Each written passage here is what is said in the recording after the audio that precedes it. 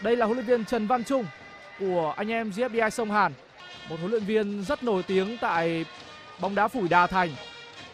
Một người cũng đã từng là tuyển thủ của đội tuyển Phúc San Việt Nam. Như vậy là trận đấu tranh hạng 3 giữa Thiên Khôi cùng với anh em GFDI Sông Hàn đã được bắt đầu.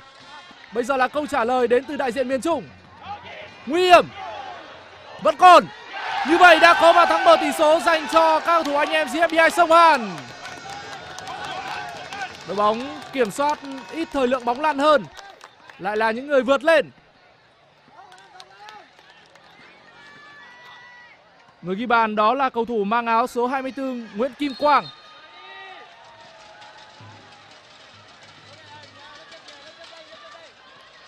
Một lần nữa hãy cùng theo dõi lại cơ hội này. Đầu tiên là đường truyền không thành công ra cột 2 của đội trưởng Minh Quang nhưng sau đó mới chỉ là 3 tháng. Câu trả lời của Thiên Khôi, Sáng Percy, bóng đi lên khán đài.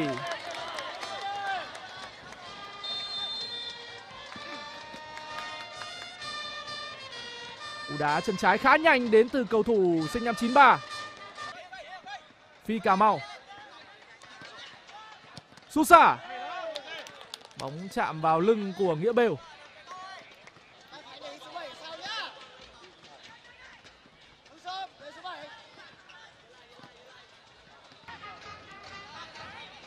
Một đường truyền sai của thủ môn Bảo Khang. Nguyễn Tây, rồi không vào.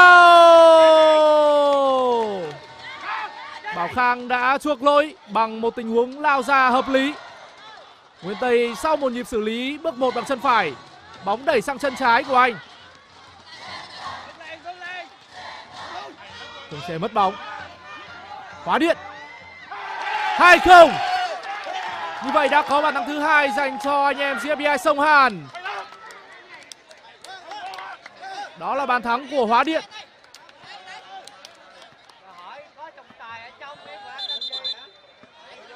Chúng ta cùng theo dõi lại tình huống này. hoàn Kiều đã xuất tướng.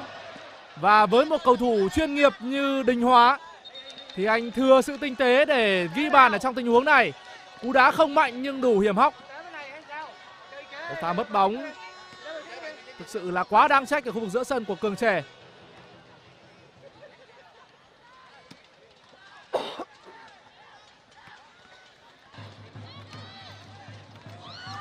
Nguy hiểm, không vào. Và di chuyển chạy chỗ tốt của Nguyên Tây. Phùng Xuân Nguyên đã di chuyển len lỏi vào giữa những cầu thủ của đối phương. Nhạc quan chiến thuật quá hay đến từ sáng Percy, một đường truyền vừa vặn với đà bật nhảy của Nguyên Tây. Đập nhả với Nguyên Tây. Nguyên Tây, Nguyên Tây không đủ sức dướn. Kim Quang đã ngăn chặn kịp thời. Hai tình huống gần như tương tự nhau của hai bên. Trước đó là pha đi bóng của Minh Quang bên phía anh em GFDI Sông Hàn. Tuấn Anh Junior, Mạnh Nát, Tuyên Trầm hay Việt Hải Dương đều là những người đã vô địch VCS 2 trong áo Mobi. Một cầu thủ khác là Nguyên Uda cũng đã được đưa vào. Cùng với đó là Thành Hoan đang có mặt trên sân. Lên bóng dành cho đại diện của miền Trung. Hóa điện, không được. Bóng đi vào xả.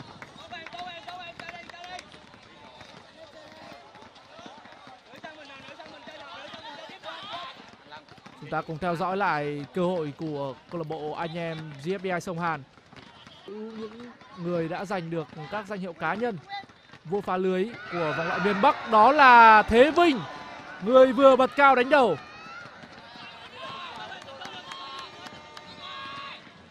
Chúng ta cùng theo dõi lại cơ hội này.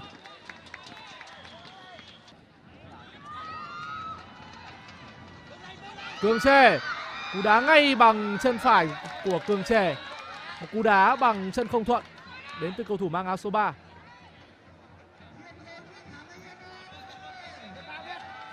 Cường trẻ được biết đến nhiều hơn khi theo chân đàn anh sáng Percy sang khoác áo câu lạc bộ BIDV Quang Trung. Còn ở trong trận đấu tứ kết gặp Bamboo thì bàn thắng của Thiên Khôi đến trong pha phản lưới nhà của A Hưng. Bóng vẫn còn trong cuộc. Không, như vậy là Hóa Điện đã quyết định nhả bóng. Cơ hội dành cho cầu thủ xuất sắc nhất của vòng loại khu vực miền Trung Minh Quang. Lần này thì Hoan Kèo đã có một pha xuất tướng tốt. Anh gây được áp lực với đội trưởng của đội bóng đối thủ. Nhìn vào những bước lấy đà của Tuấn Anh Junior thì khả năng không phải là cú đá thẳng. Việt Hải Dương Cú sút với lực tốt, Nhưng chưa đủ độ chính xác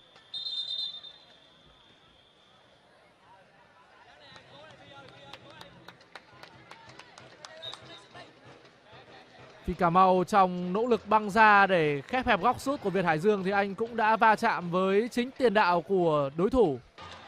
Xử lý bình tĩnh. Kim Quang không vào. Một tình huống gần như là giống với pha ghi bàn của Kim Quang. Không chính xác là gần giống với pha ghi bàn của Hóa Điện. Phan Kèo đã băng ra tình huống xử lý khá tinh tế của Kim Quang. Thiếu chút nữa thì cầu chuyên của anh em GFBI Sông Hàn đã có được cú đúp ở trong trận đấu này.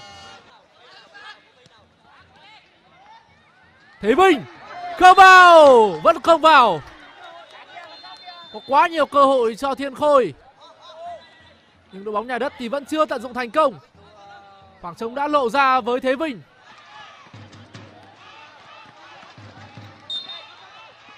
Khả năng tâm Kaka là người sẽ sút ở tình huống này. Tâm Kaka một hai cho thiên khôi! Tâm Kaka thiên thần mang về những hy vọng cho thiên khôi trong trận tranh huy chương đồng này. Một cú đá quá tốt của tâm Kaka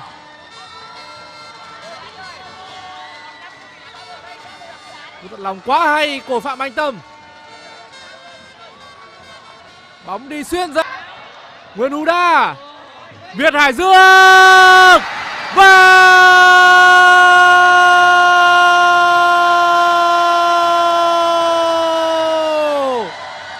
quá tuyệt vời. Đó là việt hải dương. Đó là đẳng cấp của tiền đạo số 1 tại bóng đá 7 người Việt Nam. Những cung bậc cảm xúc quá tuyệt vời. Các cầu thủ đã đẩy trận đấu này vào những cảm xúc tuyệt vời nhất, vào những khoảnh khắc với những tâm lý khác nhau, hồi hộp, rồi sau đó là bùng nổ với các cổ động viên của Thiên Khôi. GFBI Sông Hàn người thực hiện đó là Kim Quang, tác giả bàn thắng mở tỷ số. Kim Quang và Nguyên Huda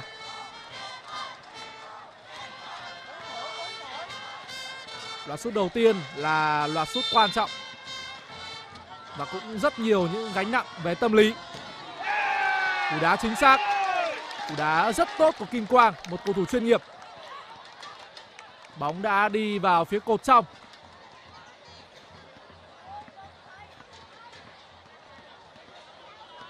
Bây giờ sẽ là cuộc đối đầu giữa hai người đội trưởng mạnh nát của Thiên Khôi và thủ môn Bảo Khang của anh em GFBI Sông Hàn. Tâm lý là điều Mạnh Nát đang thể hiện trong khuôn mặt của mình. Nhưng kinh nghiệm của anh đã giúp cho Thiên Khôi có tỷ số một đều sau loạt sút đầu tiên. Cú đá đánh lừa được Bảo Khang. Bây giờ là loạt đá thứ hai. Phi Cà Mau cùng với Nguyên Huda những hành động khá thân mật giữa hai cầu thủ. Nhưng bây giờ thì sẽ không còn sự thân mật nào cả trên chấm đá luân lưu. Cú đá chân phải của phi cà mau. Tình huống bóng đi vào chính giữa khung thành. Sau đó cũng là một hành động rất fair play của phi cà mau cùng với nguyên huda.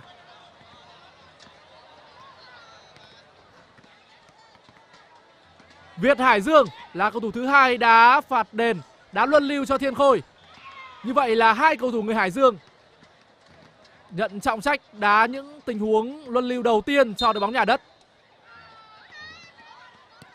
Với Việt Hải Dương thì có lẽ cũng không có quá nhiều những sự nghi ngờ về bản lĩnh của một trong số những sát thủ hàng đầu tại bản đồ bóng đá 7 người của Việt Nam.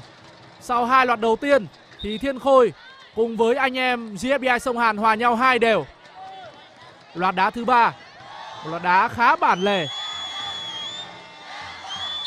Thực hiện là Quốc Huy cầu thủ vào sân thay người. Vẫn chính xác. Cú đá rất tín của số 27.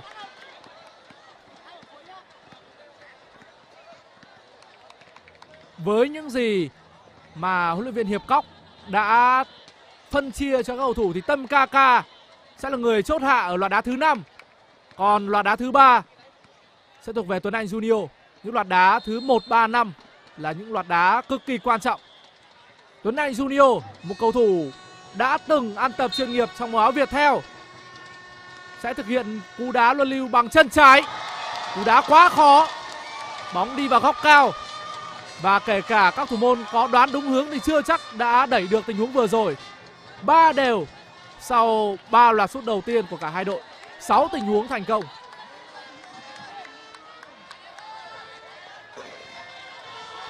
Quả đá thứ tư. Tiếp tục là một cầu thủ vào sân thay người bên phía GFBI Sông Hàn. Vẫn là cú đá về góc phải, theo hướng đổ người của Nguyên Huda và Lê Việt Hưng đã thành công.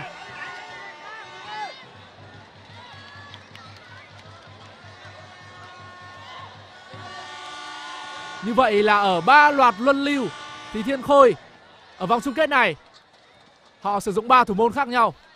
Ở tứ kết là Hoan Kiều, ở bán kết là Phúc Cà Phê và bây giờ là Nguyên Huda. Loạt đá của Cường Trê không vào.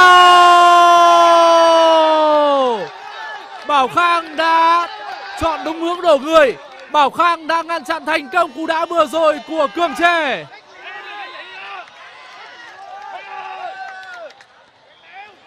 Phùng Việt Cường đã thực hiện không thành công.